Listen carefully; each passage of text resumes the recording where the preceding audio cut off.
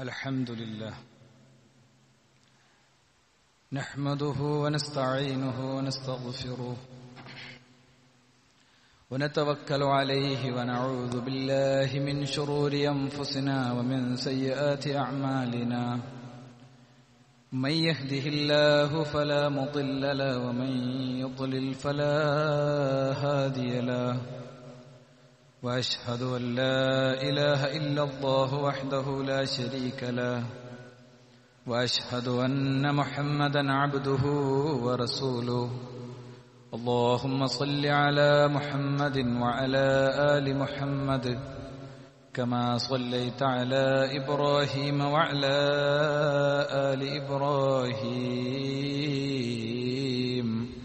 إنك حميد مجيد. أما بعد فإن خير الكلام كلام الله وخير الهدي هدي محمد صلى الله عليه وسلم وشر الأمور محدثاتها وكل محدثة بدعة وكل بدعة ضلالة وكل ضلالة في النار. أعوذ بالله من الشيطان الرجيم.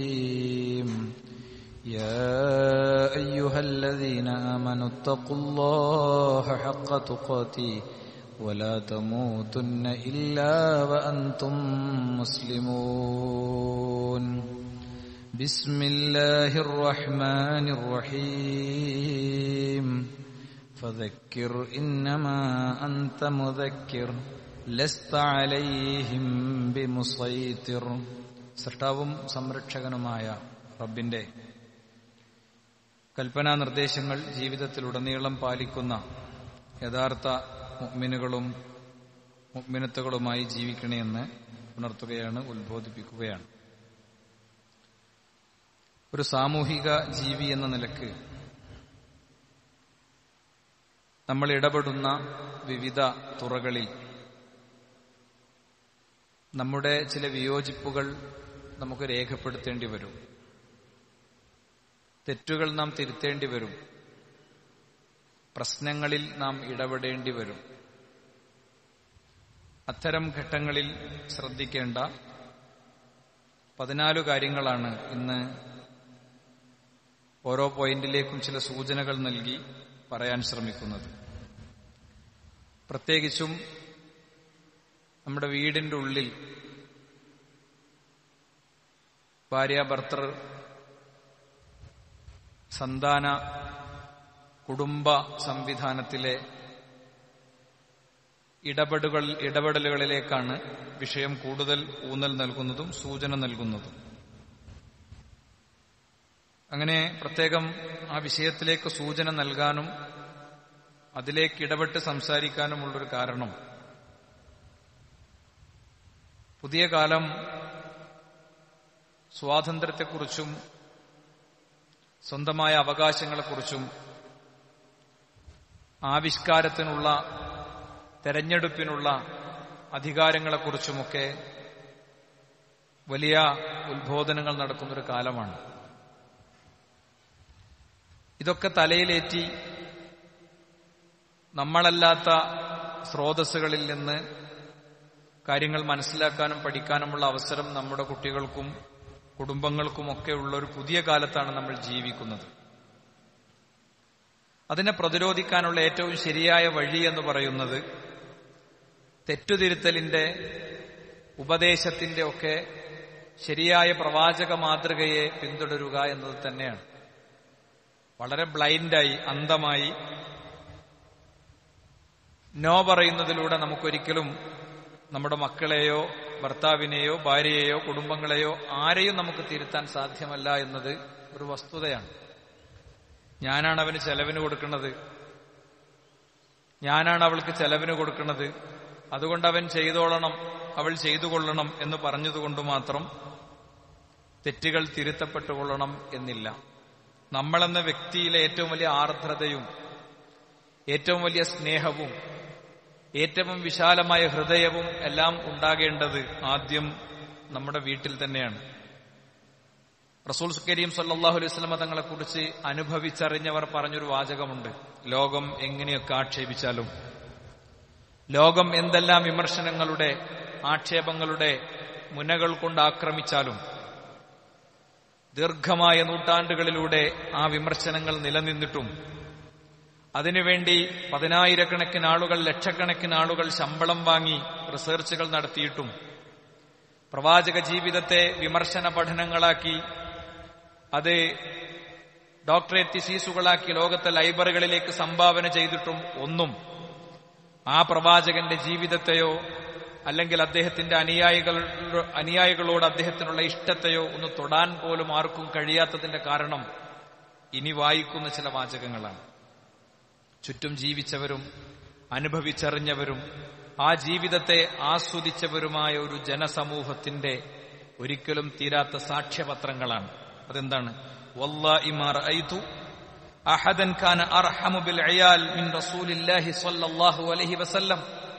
പ്രവാചക തിരുമേനിയെക്കാളും സ്വന്തം കുടുംബത്തോട് സ്വന്തം മക്കളോട് ഭാര്യയോട് ഒക്കെ ആർദ്രതയോടെ സ്നേഹത്തോടെ കാരുണ്യത്തോടെ പെരുമാറിയിരുന്ന ഒരാളെയും ഞാൻ കണ്ടിട്ടില്ല എന്ന് പ്രവാചകന്റെ തൊട്ടരികത്ത് ജീവിച്ചവർ നൽകുന്ന സാക്ഷ്യം അത് ഏറ്റവും വലിയ സമ്മാനമാണ്. ഓരോ പ്രവാചകാനുചരന്മാരുടെയും വാക്കുകൾ പ്രവാചകനുള്ള ട്രോഫികളാണ് പ്രവാചകനുള്ള സർട്ടിഫിക്കറ്റുകളാണ്. അത് ലോകത്തെ കോടിക്കണക്കിന് മനുഷ്യരുടെ ഹൃദയങ്ങളിലാണ് ആ ട്രോഫികളും സർട്ടിഫിക്കറ്റുകളും സ്ഥാപിക്കുന്നത് എന്ന് മാത്രം. അതുകൊണ്ട് നമ്മൾ ഓരോ പോയിന്റിലേക്ക് വരികയാണ്. ഒരു വ്യക്തിയെ നമ്മൾ തിരുത്തുമ്പോൾ നമ്മുടെ മക്കളെ മുന്നിൽ വെച്ചുകൊണ്ട് ചിന്തിക്കാം നമ്മുടെ സഹപ്രവർത്തകരെ മുന്നിൽ വെച്ചുകൊണ്ട് ചിന്തിക്കാം ബസ്സിൽ നമ്മൾ കാണുന്ന ഒരാളെ മുന്നിൽ വെച്ചുകൊണ്ട് ചിന്തിക്കാം ജീവിതത്തിൽ ഒരു വട്ടം മാത്രം കണ്ട ആളെ മുന്നിൽ വെച്ചുകൊണ്ട് ചിന്തിക്കാം. ഒരാളെ നമ്മൾ തിരുത്തുമ്പോൾ അതിൽ ഏറ്റവും ഒന്നാമത്തെ കാര്യം എന്താ അറിയോ? തെറ്റ് ചെയ്തോ എന്ന് ഉറപ്പുവരുത്തണം എന്നുള്ളതാണ്. പലപ്പോഴും മക്കളൊക്കെ കാര്യത്തിൽ ചെറിയ കുട്ടി കരഞ്ഞ മൂത്ത കുട്ടിക്ക് തല്ല് എന്നുള്ളതാണ് നമ്മളൊക്കെ വീട്ടിലൊരു സിസ്റ്റം ചെറിയ കുട്ടി എന്തോന്ന് ചെയ്തിട്ടുണ്ടാവും? അതിന് മൂത്ത കുട്ടിക്ക് അടിയൊടുക്കുക എന്നുള്ളതാണ്. ഇവിടെ ചെറിയ കുട്ടി ചെയ്ത ഇവനെ ഇവനൊരു അഭിപ്രായമുണ്ട്. കുട്ടി നമ്മളെ മകൻ നമ്മളെ മകൾ അവൾ ഏത് പ്രായക്കാരിയാണെങ്കിലും നമുക്കുള്ളതുപോലത്തെ ഒരു മനസ്സും ഒരു അഭിപ്രായവും അവർക്കുമുണ്ട്. ആ അഭിപ്രായത്തെ അവർ പരസ്പരം മാനിക്കാതിരിക്കുമ്പോഴാണ് അവർക്കിടയിൽ പ്രശ്നം ഉണ്ടാകുന്നത്. അതുകൊണ്ട് തെറ്റ് ചെയ്തോ എന്ന് ഉറപ്പുവരുത്തലാണ് ഒന്നാമത്തെ കാര്യം. ഇനി രണ്ടാമത്തെ ഒരു പോയിന്റ് എന്താണെന്നറിയോ രണ്ടാമത്തെ ഒരു പോയിന്റ് എന്ന് പറയുന്നത് തെറ്റ് തിരുത്താൻ ആക്ഷേപം എന്നത് ഒരു വഴിയല്ല ഒരു ടൂളല്ല എന്നതാണ്. അല്ലെങ്കിലും നീ അങ്ങനെ തന്നെയാണ് ഇല്ലെങ്കിലും നീ ഇങ്ങനെ തന്നെയാണ് നീ അത് ചെയ്തത് ശരിയായില്ല എന്ന ആക്ഷേപം എന്നതിന്റെ പരിസരത്ത് വരുന്ന വാക്കുകൾ കൊണ്ട് ഒരിക്കലും നമുക്ക് ഒരാളെ തിരുത്താൻ പറ്റില്ല അങ്ങനെ തിരുത്തപ്പെട്ട ഏതെങ്കിലും സംഭവം നമ്മുടെ ജീവിതാനുഭവത്തിലുണ്ടോ എന്ന് വെറുതെ ചെറിയ സെക്കൻഡുകൾ കൊണ്ട് ഓരോരുത്തരും ഒന്ന് അന്വേഷിക്കുക മനസ്സുകൊണ്ടൊന്ന് ചോദിക്കുക അല്ലേ? ആ ബാക്കിൽ നമുക്ക് ഊരവേദന ഇല്ലാത്ത എല്ലാവരും മുന്നിൽ കയറി നിൽക്കുക. ഊരവേദന ഉള്ള ആരും മുന്നിൽ കയറി നിൽക്കണ്ട. ഒരു കുഴപ്പമില്ല. കേട്ടോ റസൂൽ സല്ലാ അലിസ്ലാം തങ്ങളുടെ കൂടെ വർഷങ്ങളോളം ജീവിച്ച ഒമ്പതാമത്തെ വയസ്സ് മുതൽ ജീവിച്ച അനസ്രതി അള്ളാഹുനുവിനെ ഏതോ ഒരു ഹുത്തുബയിൽ ഞാൻ നേരത്തെ ഇവിടെ കോട്ട് ചെയ്തിട്ടുണ്ട് വേറെന്തോ ഒരു കാര്യത്തിന്. പക്ഷെ ഞാൻ ആ വിദ്ദേഹത്തെ വീണ്ടും കോട്ട് ചെയ്യാണ്.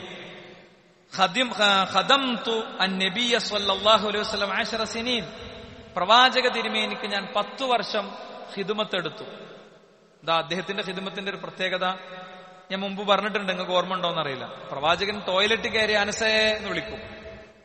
അത്രയും ഇന്റിമസി അത്രയും വ്യക്തിബന്ധം ഹൃദയബന്ധം ഉണ്ടായിരുന്ന ഒരു സംഭവമായിരുന്നു അത്. എന്നാ ഓരോ നിത്യജീവിതത്തിന്റെ നിമിഷങ്ങളിൽ ഇടപെടുന്ന ആളായിരുന്നു. മാസത്തിലൊരിക്കലോ ആഴ്ചയിലൊരിക്കലോ അല്ല. അല്ലെങ്കിൽ രണ്ടു മണിക്കൂർ പണിയെടുക്കാൻ വരുന്ന അല്ല അല്ലെങ്കിൽ നിശ്ചിത മണിക്കൂറല്ല രാത്രിയും പകലൊക്കെ ഉണ്ടായിരുന്നു. അപ്പൊ പറയാ ഫമാ കാലലി ഉഫിൻ എന്ന് റസൂലുള്ള എന്നോട് പറഞ്ഞിട്ടില്ല. ഒരിക്കൽ പോലും ഛെ എന്ന് എന്നോട് നബി കരീം സല്ലാ വസ്ലം തങ്ങൾ പറഞ്ഞിട്ടില്ല. പിന്നെ ലിമസനായത്ത എന്തിനനുസേത് ചെയ്തത്? ആ ഹദീസിനെ അങ്ങനെ അർത്ഥം വെക്കണ്ടേ? ലിമസനായത്ത എന്തിനനുസേത് ചെയ്തത് എന്ന് റസൂൽ ചോദിച്ചിട്ടില്ല. അല്ലെങ്കിൽ ഇങ്ങനെ ചോദിച്ചിട്ടില്ല അലാസനായത്ത അനസേ അനസേ നിനക്ക് ചെയ്തുകൂടായിരുന്നു അനസേ? എന്ന് റസൂൽ സല്ലാ സ്വലമ തങ്ങൾ എന്നോട് ചോദിച്ചിട്ടില്ല. ഇനി വല ആബ കത്തു ഒരിക്കൽ പോലും എന്നെ ആക്ഷേപിച്ചിട്ടില്ല. നബി കരീം സല്ലാ വസ്ലം തങ്ങൾ ഒരിക്കൽ പോലും എന്നെ ആക്ഷേപിച്ചിട്ടില്ല. വ അന ഗുലാമുൻ. എന്നിട്ട് അദ്ദേഹം അദ്ദേഹം ഇത്തിരി തൊണ്ടയിടറി ലോകത്തോട് പറയാണ് വന ഗുലാമുൻ. ഞാനൊരു ചെറിയ കുട്ടിയായിരുന്നു. എനിക്കറിയാം വലൈസ അംരി കമായി സ്വാഹിബി. എന്റെ എന്റെ പ്രവാചകൻ ആഗ്രഹിച്ചതുപോലെ അല്ല ഞാൻ ജീവിച്ചതും അവിടെ ഇടപെട്ടതും എന്ന് എനിക്ക് ഇന്നറിയാം ഞാൻ ഇത്തിരി മുതിർന്നപ്പോൾ എനിക്കൊരല്പം പ്രായമായപ്പോൾ ഞാൻ എന്റെ പിന്നിലേക്ക് ചിന്തിച്ചപ്പോൾ മനസ്സിലായിട്ടുണ്ടെന്ന് പറഞ്ഞാൽ ലോകം മനസ്സിലാക്കരുത്. ഞാനൊരു പെർഫെക്റ്റ് ആളായതുകൊണ്ട് എന്റെ റസൂലുള്ള അങ്ങനെ പറയാതിരുന്നതാണ്. അല്ല ഞാനൊരു ചെറിയ കുട്ടിയായിരുന്നു. ഒരുപാട് കുഴപ്പങ്ങൾ എനിക്കുണ്ടായിരുന്നു. ഒരുപാട് തകരാറ് എനിക്കുണ്ടായിരുന്നു. പക്ഷേ എന്നെ റസൂലുള്ള വസ്ലം നിങ്ങൾ ആക്ഷേപിച്ചിട്ടില്ല. അന അക്കൂൻ വാലൈ ഞാൻ അദ്ദേഹത്തിന്റെ കൂടെ ഉണ്ടായിരുന്ന സമയത്ത്. അപ്പൊ ഇതിന് നമുക്ക് ഒരുപാട് പാടുണ്ട്. ഈ പോയിന്റ് മാത്രം പറഞ്ഞവിടെ കുത്തുബ അവസാനിച്ചാൽ നമുക്ക് കിട്ടി. നമ്മളെ വീട് നമ്മളെ ജോലി സ്ഥലം കൂടെ ജോലി ചെയ്യുന്ന ആൾ ഒരു മേലുദ്യോഗസ്ഥൻ എന്ന നിലയ്ക്ക് നമ്മുടെ കൂടെ പ്രവർത്തിക്കുന്ന ആളുകളോട് ഒരു അധ്യാപകൻ എന്നുള്ള നിലയ്ക്ക് നമ്മുടെ വിദ്യാർത്ഥികളോട് അല്ലെ? അങ്ങനെ അങ്ങനെ അങ്ങനെ ജീവിതത്തിന്റെ എല്ലാ മേഖലയിലും ഞാനടക്കം നമുക്ക് എല്ലാവർക്കും ആയിരക്കണക്കിന് തിരുത്തുകൾക്ക് ഉള്ള ഒരു മെസ്സേജാണ് അപ്പോ ഇങ്ങനെ അനുഭവിച്ചാസ്വദിച്ചൊരു ജനസമൂഹം ചരിത്രത്തിൽ സാക്ഷ്യം പറയുന്നിടത്തോളം കാലം ലോകം എന്തൊക്കെ വാചകങ്ങൾ കൊണ്ട് അധികാരമുള്ളവരാണെങ്കിലും അധികാരമില്ലാത്തവരാണെങ്കിലും ആ പ്രവാചകേന്ദ്രിൽ നടത്തുന്ന ആക്രമണങ്ങൾക്ക് ഒരിക്കലും ലോകത്ത് സ്വീകാര്യത ഉണ്ടാകില്ല എന്ന് മാത്രമല്ല ആ പ്രവാചകനെ കുറിച്ചുള്ള വിമർശനം കേട്ട് മുഹമ്മദ് റസൂൽ ഒന്ന് ഗൂഗിൾ ചെയ്ത് ചെന്ന് നോക്കുമ്പോൾ കാണുക ഇതൊക്കെയാണ്. ഇതൊക്കെ കാണണം ഞെട്ടും. അയാൾ സ്വാഭാവികമായിട്ട് ഇസ്ലാം സ്വീകരിക്കും. ഓരോ ഇസ്ലാം വിമർശന വിവാദകാലങ്ങളും പുതിയ പുതിയ ഇസ്ലാം സ്വീകരണത്തിന്റെ കാലങ്ങളാണെന്ന ആഹ്ലാദം നമ്മുടെ ഉള്ളിൽ ഉണ്ടാകുന്നതും അതുകൊണ്ട് തന്നെയാണ്. ഇനി നിങ്ങൾ നോക്കൂ രണ്ടാമത്തെ കാര്യം ഞാൻ പറഞ്ഞു. മൂന്നാമത്തെ കാര്യം ബോധ്യപ്പെടുത്താ ബോധ്യപ്പെടുത്തിയിട്ട് വേണം തിരുത്താൻ എന്നുള്ളതാണ്. നമ്മളൊരാളെ തിരുത്തുമ്പോൾ പഞ്ച് ഡയലോഗ് കൊണ്ട് ഒരാളെ തിരുത്താൻ പറ്റില്ല. നമ്മളെ കുട്ടിക്ക് ഒരു സ്ഥിരമായിട്ടൊരു കുഴപ്പമുണ്ടെങ്കിൽ നമ്മുടെ ഭാര്യയ്ക്ക് നമ്മുടെ ഭർത്താവിന് നമ്മളെ കൂടെ വർക്ക് ചെയ്യുന്ന ഒരാൾക്ക് നമ്മളെ പിന്നെ ഓഫീസിലൊരു സ്റ്റാഫിന് സ്ഥിരമായിട്ടൊരു തകരാറ് അയാളെടുത്തുണ്ടെങ്കിൽ ആ തകരാറ് തകരാറാണെന്നും അത് ചെയ്താൽ ഇന്ന കുഴപ്പമുണ്ടോന്നും ബോധ്യപ്പെടുത്തിയാലേ നടക്കുള്ളൂ. റസൂൽ സ്വലമ തങ്ങൾ എന്നുള്ള നേതാവിന്റെ അടുത്ത് അനുയായികൾക്ക് എത്ര സ്വാതന്ത്ര്യം ഉണ്ടായിരുന്നു എന്ന് മനസ്സിലാക്കാൻ പറ്റിയ ഹദീസ് ഞാൻ പറയാം. നമ്മളൊരു നേതാവ് എന്നുള്ള നിലയ്ക്ക് നമ്മളൊരു മേലുദ്യോഗസ്ഥൻ എന്നുള്ള നിലയ്ക്ക് വേറൊരാൾ എന്നുള്ള നിലയ്ക്ക് നമുക്ക് പല കാര്യങ്ങളും പറയാൻ തന്നെ പറ്റൂല അല്ലേ? എത്രയോ കാര്യങ്ങൾ പറയാതെ നമ്മൾ മനസ്സിൽ വെക്കുന്നുണ്ട്. എന്നാൽ നബി സുല്ലാ വസ്ലമ തങ്ങളുടെ അടുത്ത് വന്നിട്ട് ഒരാൾ ചോദിക്കുന്ന ചോദ്യം ഇതാണ് നബിയെ ഞാൻ മുസ്ലിമാണ്. പക്ഷെ എനിക്ക് വ്യഭിചാരം നിർത്താൻ കഴിയൂല. വ്യഭിചാരം നിർത്താൻ കഴിയൂല. എന്താ അവിടെ ഉണ്ടായത് എന്ന് പിന്നെ കാണുന്ന വാചകത്തിൽ കാണാം. അതാ ഞാൻ പറഞ്ഞത് റസൂലുള്ളാൻ ആരെങ്കിലും ഒരാൾ വിമർശിച്ചിട്ട് ആ വിമർശനത്തിന്റെ പേരിൽ ഹുയിസ് മുഹമ്മദ്? ആരാകുന്നു മുഹമ്മദ് എന്ന് ഒന്ന് ജസ്റ്റ് ഒന്ന് ഒന്ന് പരിശോധിക്കാൻ വേണ്ടി ഒരാൾ കയറുമ്പോ അതൊക്കെ കാണുക. ഇനി ഞാൻ പറയണതൊക്കെ കാണുക. എന്താ? പ്രവാചക തിരുമേനി സല്ലാ അലിസ്ലമ തങ്ങളുടെ സ്വഭാവത്ത് എന്താ ചെയ്തെന്നറിയോ എനിക്ക് വ്യഭിചാരം നിർത്താൻ കഴിയില്ല എന്ന് പറഞ്ഞപ്പോ എല്ലാവരും കൂടി ആ മനുഷ്യന്റെ നേരെ തിരിഞ്ഞു. അവരേ ബഹളുണ്ടാക്കി. എന്തവന് പറ്റിയത്? എന്നൊക്കെ ചോദിച്ചിട്ട് ആളുകൾ സദസ്സിലാകെ ബഹളുണ്ടാക്കി. പ്രവാചകൻ തന്റെ ചൂണ്ടുവിരൽ കൊണ്ട് തന്റെ സദസ്സിനെ അടക്കിയിരുത്തിന്റെ ശേഷം ഇനി തുടങ്ങാണ് പണി. ബോധ്യപ്പെടുത്തൽ തുടങ്ങാണ്. എന്താ ബോധ്യപ്പെടുത്തിയെന്നറിയോ? പ്രവാചകൻ ചോദിച്ചു വളരെ ചിരിച്ചിട്ട് ചോദിച്ചു നിന്റെ ഉമ്മാന്റെ അടുത്ത് ആരെങ്കിലും വ്യഭിചരിക്കാൻ വരുന്നത് നിനക്ക് ഇഷ്ടമാണോ എന്ന് വെച്ചു നിന്റെ ഉമ്മാൻ ആരെങ്കിലും വ്യഭിചരിക്കണം നിനക്ക് ഇഷ്ടമാണോ എന്ന് വെച്ചു അപ്പൊ ആ മനുഷ്യൻ പറഞ്ഞു ജാലനി അള്ളാഹു ഫിദാഖ് ഞാൻ എന്നെ അങ്ങേക്കു വേണ്ടി അള്ളാഹുവിന് സമർപ്പിച്ചുകൊണ്ട് പറയാണ്. ഇല്ല. എനിക്ക് പറ്റില്ല നബി. വൈകാരികമായി പ്രതികരിച്ചു അയാൾ അപ്പൊ റസൂൽ അയാളെ വളരെ ശാന്തതയോടെ തിരുത്താണ്. ലാ യുഹിബൂനഹു ലി ഉമ്മഹാത്തിഹിം. നിങ്ങൾ ആരെടുത്താണോ ചെല്ലുന്നത്? ആ ചെല്ലുന്ന ആളുകൾ ആരും അവരുടെ ഉമ്മാന്റെ അടുത്ത് വേറൊരാൾ ചെല്ലുന്നത് ഇഷ്ടപ്പെടുന്നില്ല. കെതാലി കന്നാസ് അതുപ്രകാരമാണ് ജനങ്ങൾ. അയാൾ അസ്വസ്ഥനായി സങ്കടത്തോടെ ഇത് കേൾക്കുമ്പോൾ റസൂല വീണ്ടും ചോദിച്ചു നിങ്ങളെ മോളെടുത്ത് ആരെങ്കിലും വ്യഭിചരിക്കാൻ വരുന്നത് നിങ്ങൾക്ക് ഇഷ്ടമാണോ നബി കരീം സൊല്ലാഹു അലഹി വസല്ലമ തങ്ങൾ ഇത് ചോദിച്ചപ്പോ ആ മനുഷ്യൻ വീണ്ടും പറഞ്ഞു അങ്ങേ അങ്ങേക്ക് വേണ്ടി എന്നെ ഞാൻ റബ്ബിന് സമർപ്പിച്ചുകൊണ്ട് പറയാണ്. ഒരിക്കലും എനിക്ക് ഇഷ്ടമല്ല അപ്പൊ പ്രവാചകൻ വീണ്ടും പറഞ്ഞു "വകദാലിക ലാ യുഹിബ്ബൂന ലിബനാത്തിഹിം." അവരവരുടെ മക്കളെടുത്തേക്ക് ചെല്ലണത് ജനങ്ങളെ കാര്യം നിങ്ങളെപ്പോലെ തന്നെയാണ്. മക്കളെടുത്തേക്ക് വ്യഭിചരിക്കാൻ ചെല്ലണത് ആരും ഇഷ്ടപ്പെടുന്നില്ല. വീണ്ടും ചോദിച്ചു അത്തുഹിബുൽ യുഹ്തിഖ് നിന്റെ പെങ്ങളെടുത്ത് ആരെങ്കിലും വരുന്നത് നിനക്ക് ഇഷ്ടാണോ? അയാൾ ഇതേ മറുപടി പറഞ്ഞപ്പോ പ്രവാചകൻ സുല്ലാ വസ്ലം തങ്ങൾ ഇതേ മറുപടി തന്നെ ആവർത്തിച്ചു. കെദാലിക് അന്നാസ് യുഹിബ്ബൂന. ഈ മനുഷ്യ ജനങ്ങൾ അത് ഇഷ്ടപ്പെടുന്നില്ല. എന്നിട്ട് ഒരു ലീഡർ ഒരു നേതാവ് തന്റെ സദസ്സിൽ വെച്ച് ഭരണാധികാരി എന്നുള്ള നിലയ്ക്ക് ശിക്ഷ പഠിപ്പിച്ച പ്രവാചകൻ. ചാട്ടവാറ് കൊണ്ടടിക്കണം ചിലരെ ചിലരെ നാട് കടത്തണം എന്നൊക്കെ പഠിപ്പിച്ച തിന്മ അധാർമികത അതിനെക്കുറിച്ച് ചോദിച്ചൊരു മനുഷ്യൻ. അയാൾ അവിടെ നിന്ന് പതിയെ ഇറങ്ങിപ്പോകുമ്പോ നബി കരീം സുല്ലാ വസ്ലം നിങ്ങൾ ചെയ്യണത് നോക്കൂ നിങ്ങൾ. പ്രവാചകൻ അള്ളാഹുലേക്ക് ആ മനുഷ്യന്റെ നെഞ്ചത്തിങ്ങനെ തിരിച്ചു വിളിച്ചയാളുടെ നെഞ്ചത്തിങ്ങനെ കൈവച്ചിട്ട് പ്രവാചകൻ പ്രാർത്ഥിക്കുക അള്ളാഹു മത്തഹിർ കൽബ. അള്ളാഹുവേ ഈ മനുഷ്യന്റെ ഹൃദയത്തെ നീ ശുദ്ധീകരിച്ചു കൊടുക്ക്. ഇയാളുടെ പാപത്തെ നീ പുറത്തു കൊടുക്ക്. ഫർജ അയാളുടെ ലൈംഗിക രംഗത്ത് നീ വിശുദ്ധി കൊടുക്ക്. അങ്ങനെ ആ മനുഷ്യൻ പിന്നെ പറയാണ് ആ മനുഷ്യനെ കുറിച്ച് പിന്നെ പറയാണ് ആ മനുഷ്യന് പിന്നെ ജീവിതത്തിൽ ഏറ്റവും വെറുപ്പുള്ള കാര്യം വ്യഭിചാരായിരുന്നു എന്നാണ്.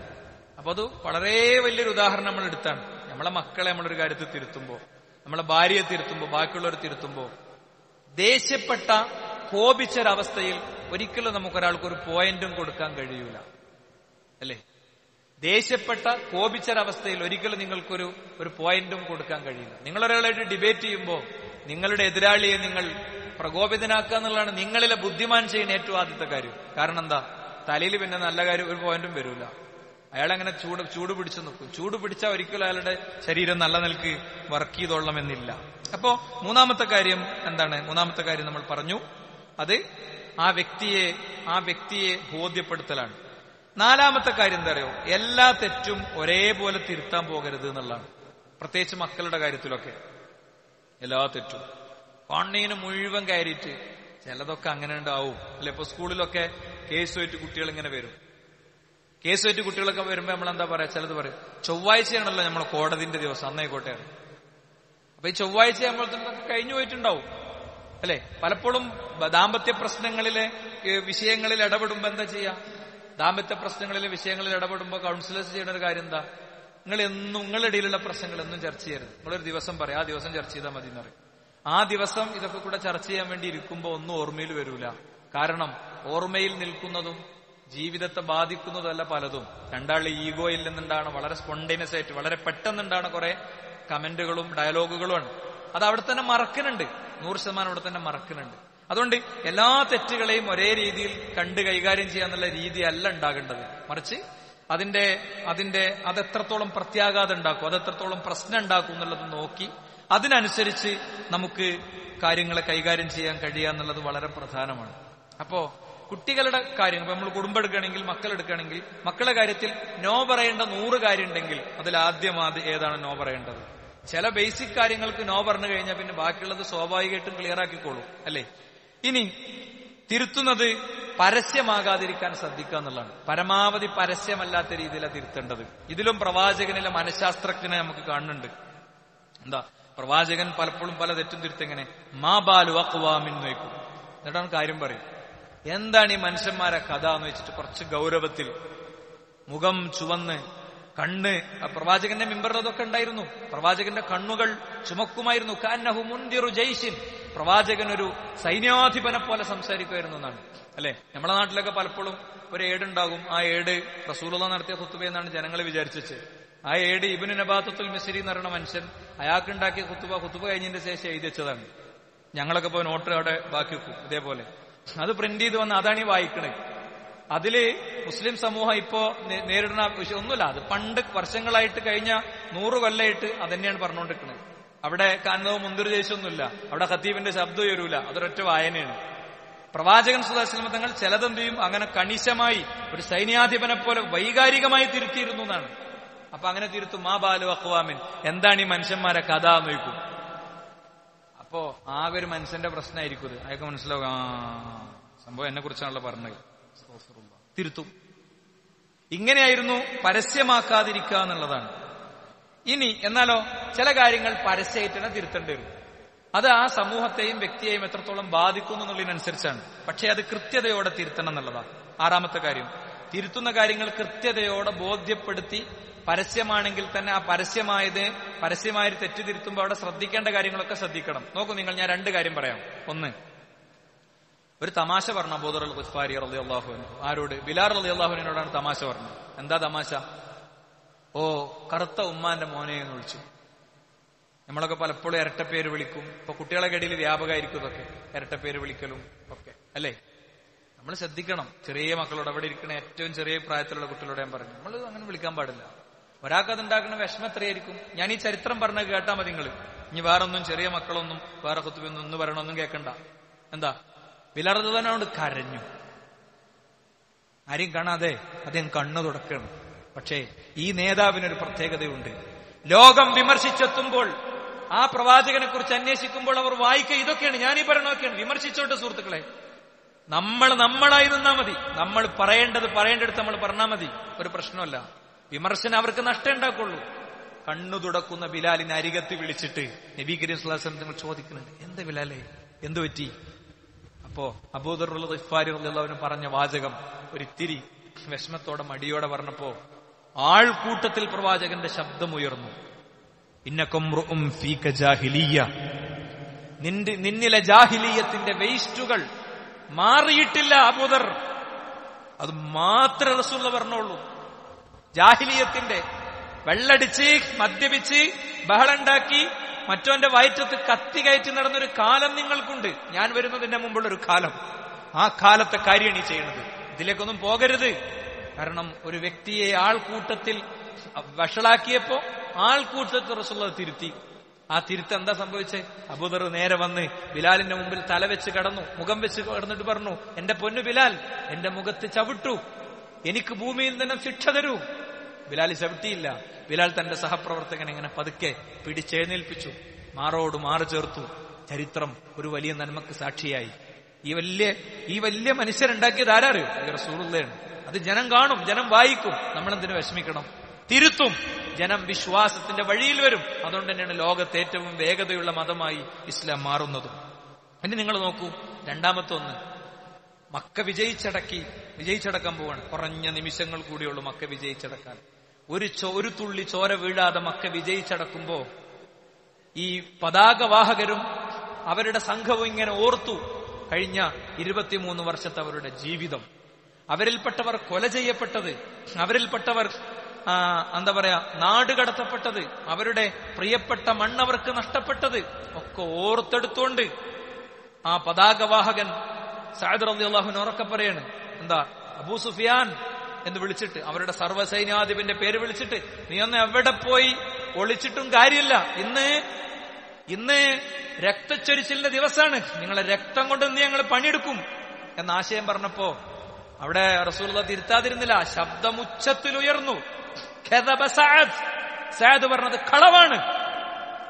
നമുക്ക് ഏതെങ്കിലുമൊക്കെ ഒരു പ്രകടനത്തിൽ മറ്റുള്ളവന്റെ വീടിന്റെ അകത്തളത്തിലേക്ക് കയറി വന്ന് ആക്രമിക്കുന്നതിന്റെ കഥ നല്ല പഞ്ച് ഡയലോഗേറ്റ് മുദ്രാവാക്യം വിളിച്ച അങ്ങനെയാണ് വിളിക്കണവനാണ് മുസ്ലിം സംരക്ഷകൻ അല്ലേ?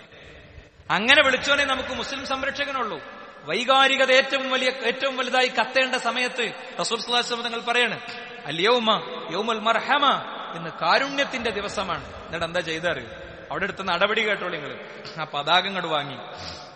ആരെടുത്താ കൊടുത്തതെന്നറിയോ?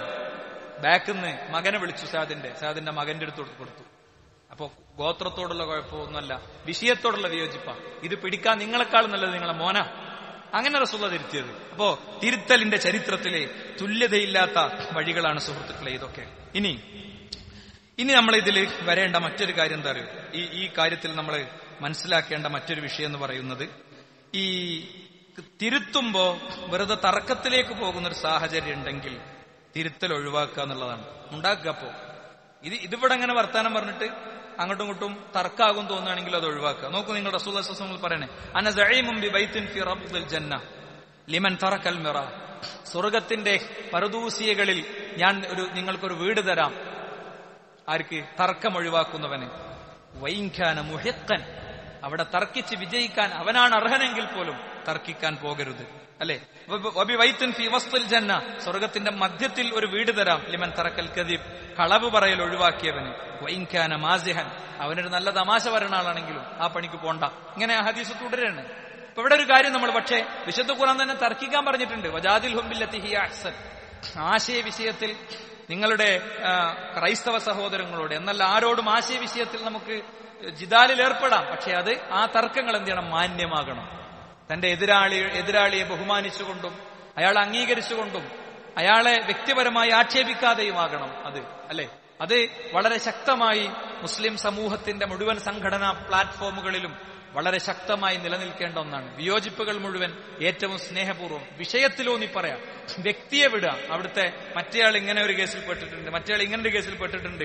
അത് വായിക്കാനല്ല മറിച്ച് ആയത്തും ഹദീസും ഉദ്ധരിച്ച് ജനങ്ങളെ ബോധവൽക്കരിക്കുന്ന ബോധ്യപ്പെടുത്തുന്ന രീതികൾ തീർച്ചയായും ആകാമെന്നത് തന്നെയാണ്. അപ്പോ ഏഴാമത്തെ കാര്യം തർക്കങ്ങൾ ഒഴിവാക്കുക എന്നതാണ്. ഇൻഷാല്ല ബാക്കി കാര്യങ്ങൾ നമുക്ക് മറ്റൊരു സമയത്ത് പറയാം. അള്ളാഹു അനുഗ്രഹിക്കുമാറാണ് അല അജ്മായിൻ സൃഷ്ടാവും സംരക്ഷകനുമായ റബ്ബിനെ ജീവിതത്തിന്റെ എല്ലാ മേഖലയിലും കാത്തു സൂക്ഷിക്കണമെന്ന് ഒരിക്കൽ കൂടി ഉണർത്തുകയാണ് ഉത്ബോധിപ്പിക്കുകയാണ്.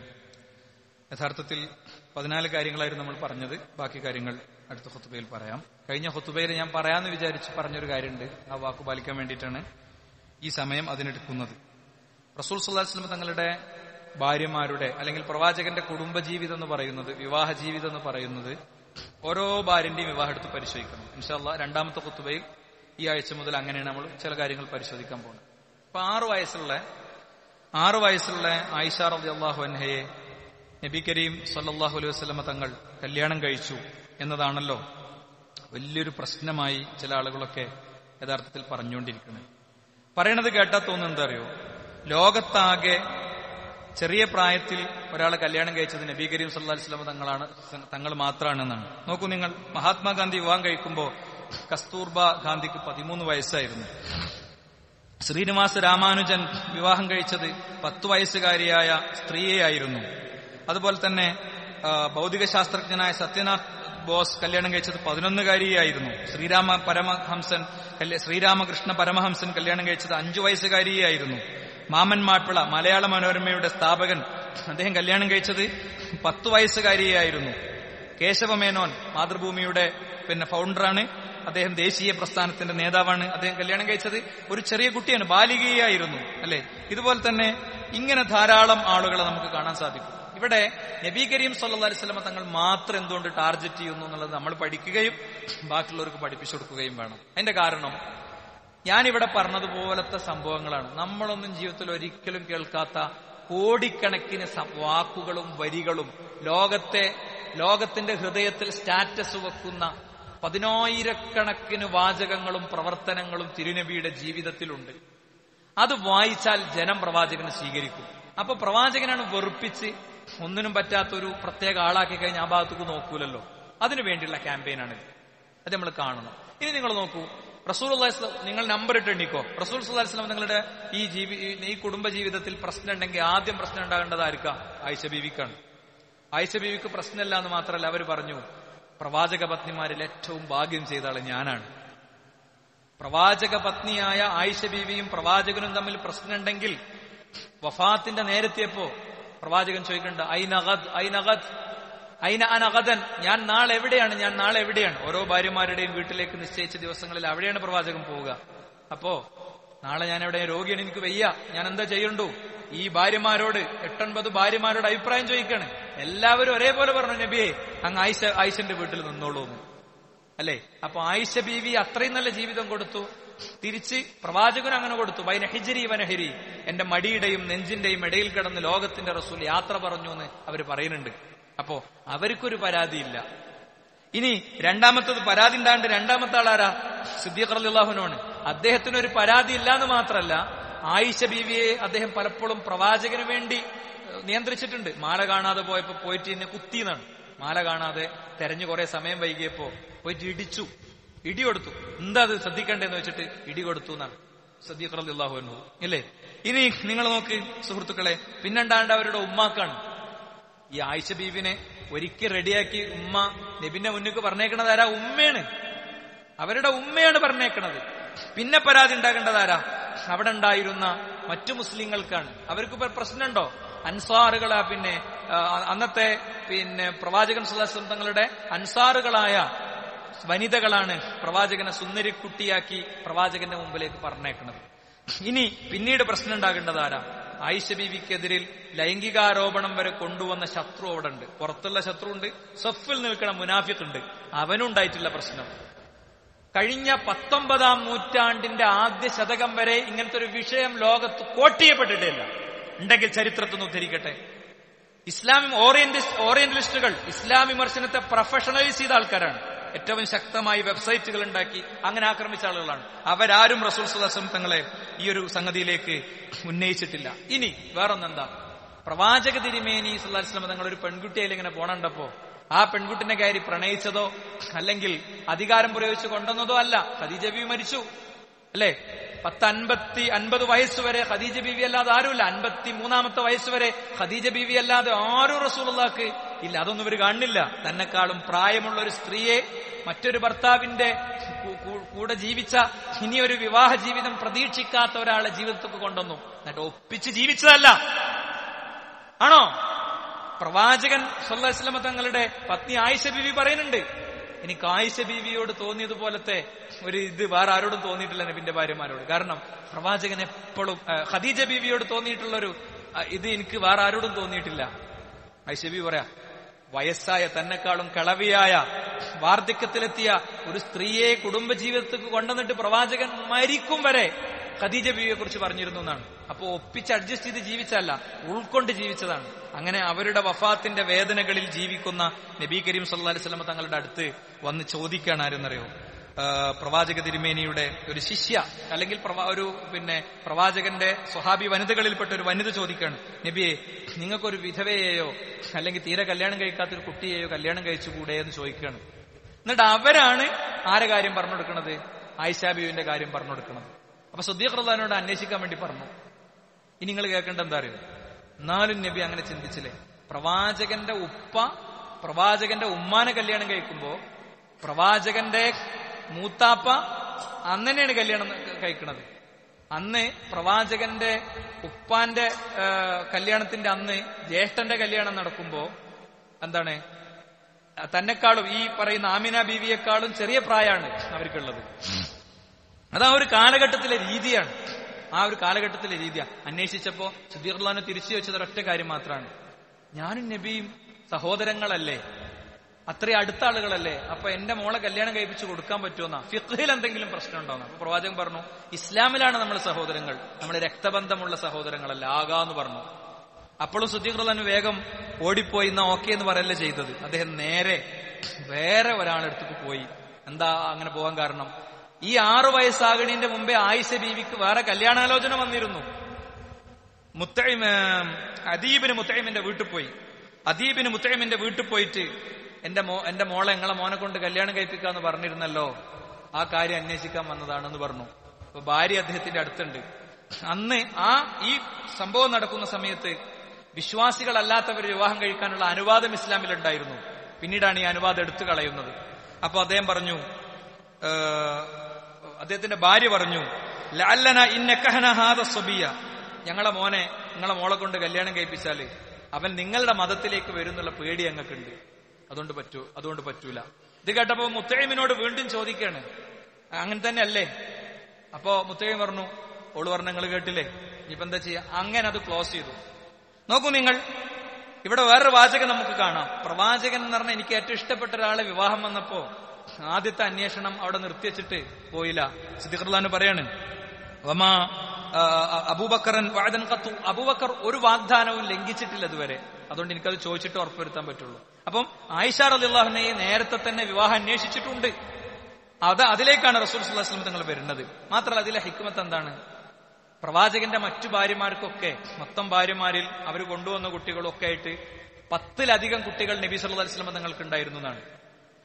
പ്രവാചകൻ ഏറ്റെടുത്തതൊക്കെ താൻ അറുപത്തഞ്ചും എഴുപതും വയസ്സുള്ള സ്ത്രീകളെ. അവർ വന്നപ്പോഴോ കൊണ്ടുവന്നത് രണ്ടും മൂന്നും കുട്ടികളെ. ആരാ സുഹൃത്തുക്കളെ ഏറ്റെടുക്കുക? അതെന്താ അവരാരും പറയാത്തത്?